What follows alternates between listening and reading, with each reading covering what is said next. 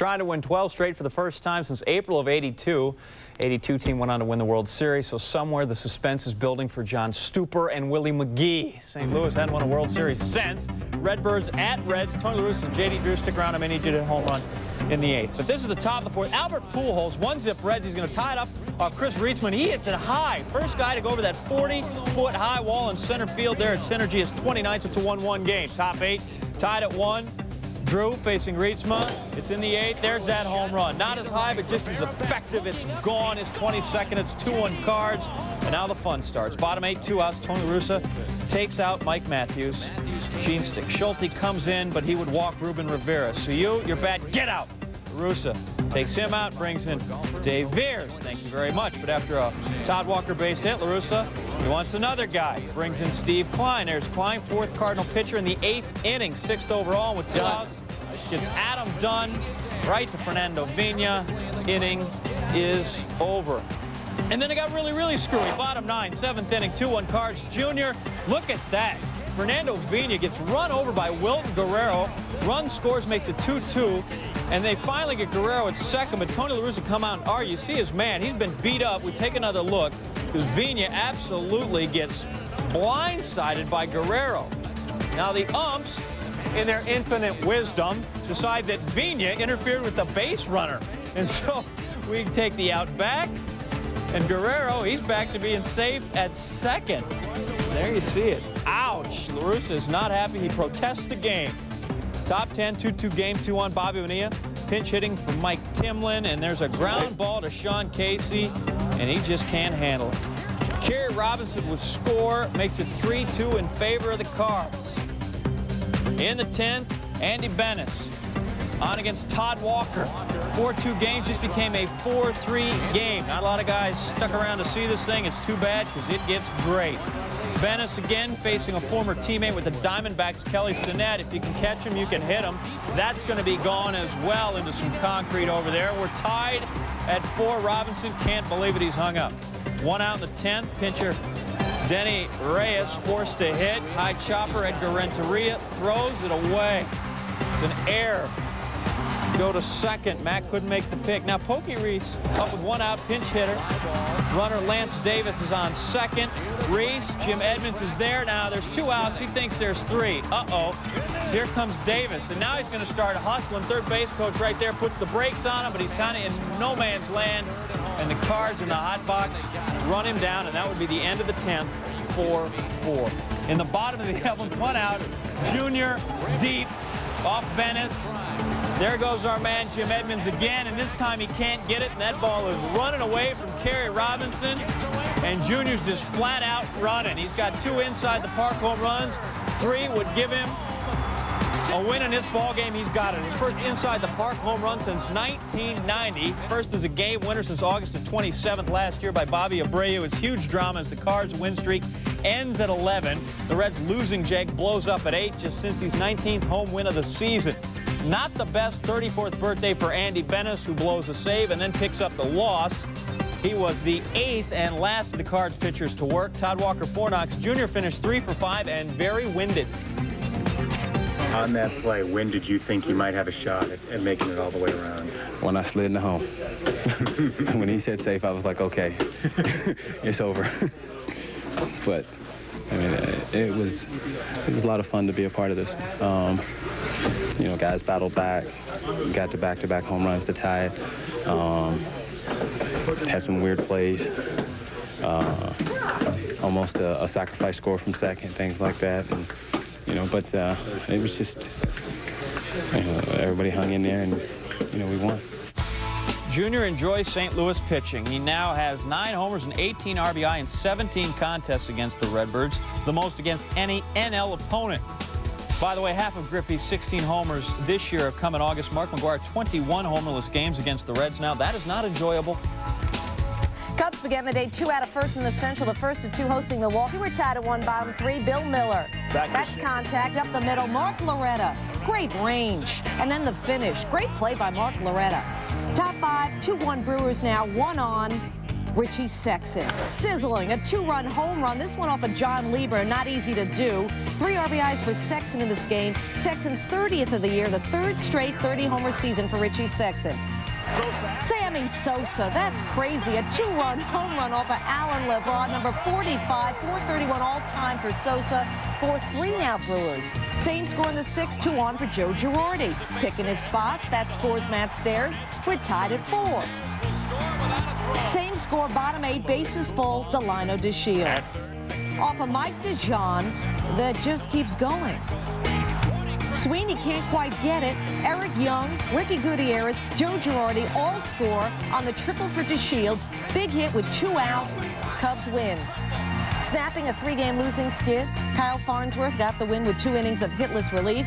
Flash Gordon, who fell off the mound after stepping in a hole, ready 2-0 Brewers. Two on for Kevin Brown. Yeah, that Kevin Brown. Another homer. This guy homered twice against the Reds on Saturday. All three of Brown's hits this season, home runs. 5-0 Brewers. It was 6-0 bags full. Felix Heredia, wild. Luis Lopez scores 7-0. Then in the same inning, Jose Hernandez, liner, Corey Patterson, takes a chance, diving it, can't get it. To the wall it goes, two-run score. It's 9-0 Milwaukee. It was 10-0 in the sixth. Sammy Sosa and Jamey Wright. Sosa. The force is strong in that one. His 46th of the year, 28th career homer against Milwaukee, including five this year. Suddenly, it's still not a game. It's 10-1. In the dugout, yeah. Sosa imitation, still in the sixth, Ron Coomer. In the hole, Mike Coolbaugh, the diving stop, the throw to first. Brewers win the nightcap easily. Brewers salvaging the split. Jamey Wright winning for the first time. This is our Sports Center showcase. Would Clemens feel at home in his home state, looking to go 17 and 1? We'll find out in a bit. Top of the second, Rick Helling on the mound for Texas, facing David Justice. Justice. Jimmy Jackson, his 15th home run of the year. As for Helling, 30th home run given up by him, most in the American League. Justice 2 for 4, 2 RBI, hit for 241. Roger Clemens facing Rafael Palmeiro. Men on second and third, Palmeiro, the grounder. Alfonso Soriano, the diving stop, gets Rafi. Mike Lamb scores from third. It's 3-2 Texas. Next batter, Ivan Rodriguez. Pudge knows where to put it. The right field and pretty deep. Two-run home run, number 24 on the year. Clemens hit hard in that inning. Lasted six, allowed five runs, one earned. Top of the sixth, Rick Helling facing Bernie Williams. Bernie, never to be underestimated. Neither for Gabe Kapler in center, robbing Bernie of extra bases. 5-4 Texas, Paul O'Neill. So there. Solo home run, upper decker, number 19 for O'Neill to tie the game at five. Two batters later, to think the Yankees once thought about trading Tino Martinez. Number 28 on the year. The Rangers pen getting rocked. Him 7-5 Yankees. Tino 3 for 5, 272 he's hitting. But Texas looking to tie it. Rafael Palmeiro, the tying run at the plate. Now 4 for 16 lifetime against Mariano Rivera. And the Yanks hang on to win by the score of 9 to 5. Tina, by the way, left the ninth inning with leg cramps. The Yanks losing streak ends at two. Texas scoring three in the fifth off of the Rocket. High Top second, tires up one zip. Shane Halter with a man on off Freddie Garcia. We're going to need a new baseball. Two-run jack. Tigers up three zip. Might be all they need. It's all they would need, sure. Steve Sparks, your knuckleball specialist against Mark McLemore. That's a bit of a floater. The pride of Skelly Junior High gets Edgar Martinez with Le Papillon. Bottom seven, Sparks still cruising. Mike Cameron, that is not an eight RBI day. Half swing, whole strike. And in the bottom of the ninth, two outs, Sparks facing John Olerud. And he throws in the gas. 79 miles an hour, the cheese. Tigers win 4-1. Five-hit complete game for Sparks. He's tied for the AL lead with five complete games on the year. The Tigers win for the fourth straight time at Safeco. Should move cities.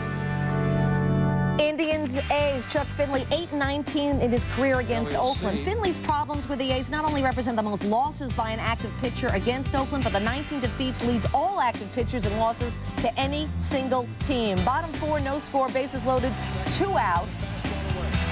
Olmedo Saenz at the plate. Saenz, read it, the looper. Juan Gonzalez tries, but he can't make the play. Jason Giambi, Terrence Long, and Miguel Tejada score triple for Saenz. A's go up three to nothing. Same score, top of the fifth, two out now. Barry Zito on the mound. Zito. This is why everybody wants this pitcher and wishes they had him, because of that stuff. Zito, seven Ks through five. A's up 5 nothing. One on in the seventh. Jermaine Dye. Boy, what a pickup for Oakland. Jermaine Dye, the launch. Isn't it a good thing that Dye's family was there to see his 19th home run? A's up 9 0 one out. Zito striking out the dangerous Juan Gonzalez. A career high 11 Ks for Barry. Complete game shutout for him. A's win 9 to nothing. It's a four hit shutout, his second shutout in three starts. His ERA 0.93 over hamstring on Sunday. 2 0 Boston. Shea Hillenbrand straight away. Number 10, 3 0 Boston. Four runners on second and third this time. They intentionally walk Shea Hillenbrand. Next batter, Doug Mirabelli. Mirabelli. He's been lifting. A liner down the line. Dante Bichette would score. Troy O'Leary would score. 5 nothing Boston. Bottom four, Frank Castillo facing Troy Glaus. Glaus, no competition. Castillo, seven innings, five hits allowed, no earned runs, five Ks. Red Sox beat the Angels six to one. Frank Castillo, those seven shutout innings, impressive. Minnesota in a summer deep freeze. Top four, no score. Brad Fullmer. Got a couple men on, and everybody gets to walk home. Baggies, 16th of the season for Fullmer, 3 0 Toronto. Bottom nine still 3 zip. One on, one out for Cristian Guzman. That one's off Kelvin Escobar. Chuck Jones will score. Twins cut the lead to 3 1. A couple of batters later. Still just one out, now two on. Billy Koch on, facing Corey Koskie. We're going to play a little more baseball. Koskie, a little bingo. Guzman scores. Twins cut it to 3-2. Next batter, Torii Hunter. Koch, the gas. Oh, the hook. One out away from the save. Next batter, David Ortiz. There he is. You can see he's got a bat. Bat on ball, but Homer Bush is there over to first. Well played. Blue Jays hold on to win it 3-2. Fullmer's one swing holds up. Twins lose their 10th in 11 games and are now just five games over 500. Kelvin Escobar moved into the starting rotation last month, eight and a third scoreless before getting charged with two there in the ninth. Wins his third straight. Joe Mays a five hitter, but loses. Joe Flopper.